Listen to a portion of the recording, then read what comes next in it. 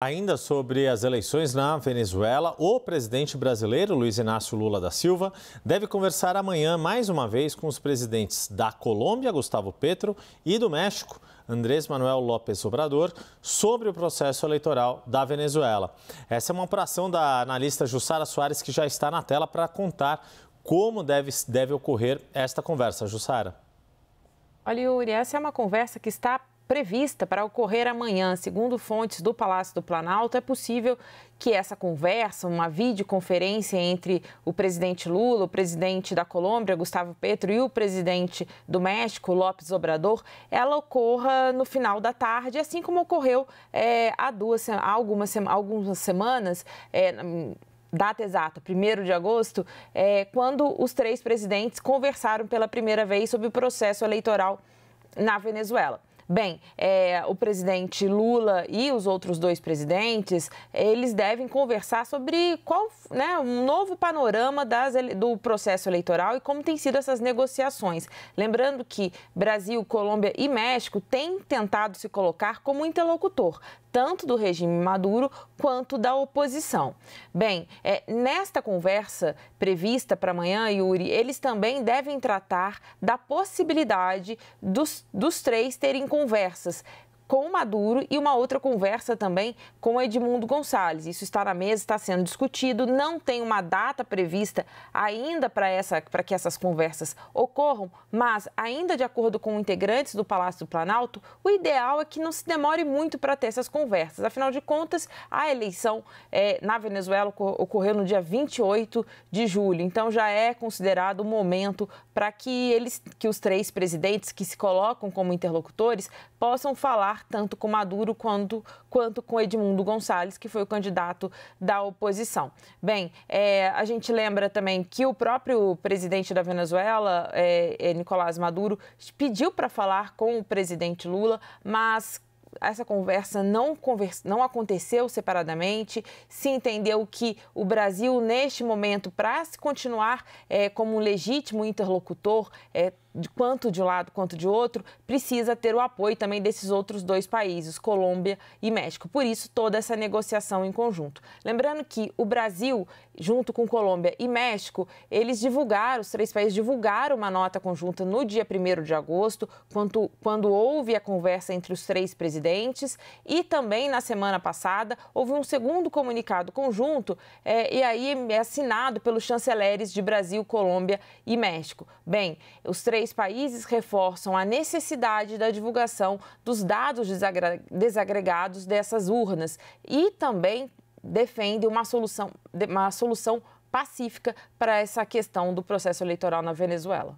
Importante isso que você relembra, né, Jussara? A gente está falando aqui de um intervalo de menos de duas semanas em que esses três líderes de Brasil, Colômbia e México vão conversar em relação à Venezuela, uma conversa dia 1 amanhã, dia 12, ou seja, num intervalo de menos de 14 dias, duas conversas diretas entre eles e esses dois comunicados também que você muito bem lembrou na quinta passada e na quinta retrasada. Eh, e todos eles com este teor de divulgação das atas, dos dados desagregados, que se saiba urna por urna qual foi o resultado, qual, quais, qual, qual foi o número de votos que cada um dos candidatos recebeu em cada uma das dezenas de milhares de centros de votação na Venezuela. Agora, aí queria uma análise tua, pelo que a gente, a, a, informação que abriu este nosso bloco, esse nosso bloco, desta posição da Suprema Corte, que é controlada pelo chavismo, dizendo que o que ela decidir é, não cabe recurso, é irrecorrível, isso é mais uma demonstração do, da pouca disposição do regime em ceder ou, de, ou em reconhecer que sim, é possível uh, se verificar um outro resultado que não aquele divulgado pelo Conselho Nacional Eleitoral. Enquanto Maria Corina Machado deixa muito claro que esta é a melhor oportunidade em 25 anos que a Venezuela e a sociedade venezuelana têm de fazer uma transição pacífica. Caso contrário, o pior poderia acontecer, que seria um conflito armado, violento entre os setores que defendem, apoiam o regime Nicolás Maduro e os setores que não querem a permanência desse regime, Jussara. É isso, Yuri. Você lembrou muito bem, né, que é, essa posição da, da, justiça de que, olha, o resultado da auditoria vai, é o definitivo, não é bem isso que é, Brasil, Colômbia e México entendem neste momento. A gente lembra também que o governo brasileiro, Itamaraty, tem sido muito cauteloso é, em dizer, é, em rechaçar determinadas situações. Eles seguem cobrando, acham que o caminho neste momento é cobrar esses dados abertos. Bem, o que, que eles vão tentar, eu consegui apurar nos últimos dias aqui, Yuri, é que eles vão tentar que uh, Maduro e a oposição aceitem uma verificação externa. Bem, mas isso precisa ser negociado e pelo que, como você disse, pelos sinais que vêm da justiça venezuelana, isso não deixa espaço para essa negociação.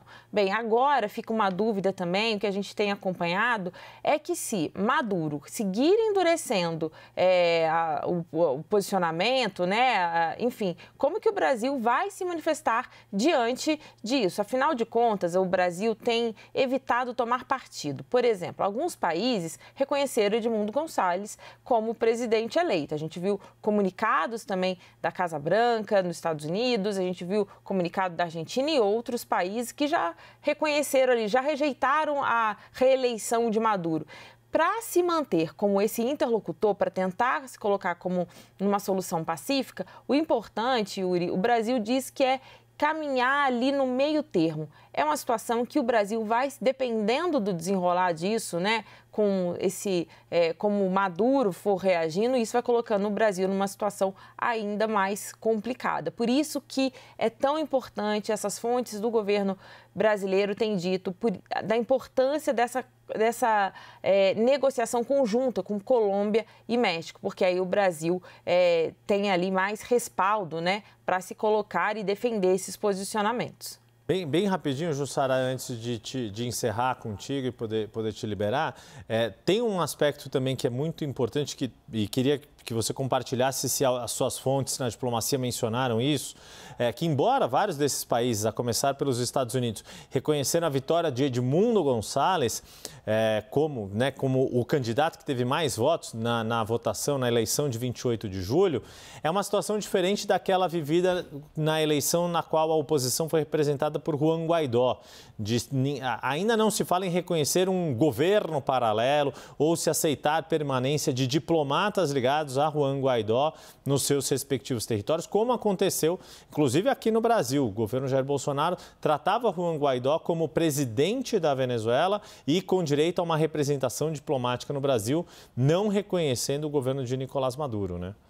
É isso, Yuri. Aqui pelo Brasil não se fala em reconhecer Edmundo Gonçalves como é, presidente eleito. Inclusive, tem uma cautela muito grande dizendo o seguinte: olha, é, é preciso que é, o, Conselho, o Conselho Nacional Eleitoral da Venezuela apresente esses dados abertos, mas também é preciso checar essas informações que é, a oposição tem divulgado de que é, Gonçalves foi eleito. Então, o Brasil tem se colocado nessa posição de dar o benefício das, da dúvida.